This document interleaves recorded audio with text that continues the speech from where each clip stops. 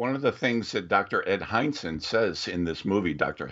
Ed Hindson is the former dean at Liberty, and we interviewed him, and he said that basically in every generation, God raises up a handful of people like Norm Geisler to speak to the culture, to challenge the way we've been doing things, and point ahead to how we could do things better in the future.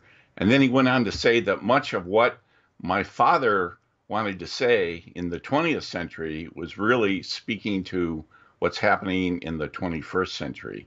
And um, this movie kind of tells that story of his life, um, of how uh, God helped him to find the answers he was looking for so that uh, he understood that his faith was reasonable. It wasn't just a blind faith. And um, he raised up all these leaders and all these tools to help Christians to know how to answer the tough questions that uh, people raise today. And this movie um, is just a very interesting story. I didn't know all the uh, the details actually until I started interviewing some of these Christian leaders.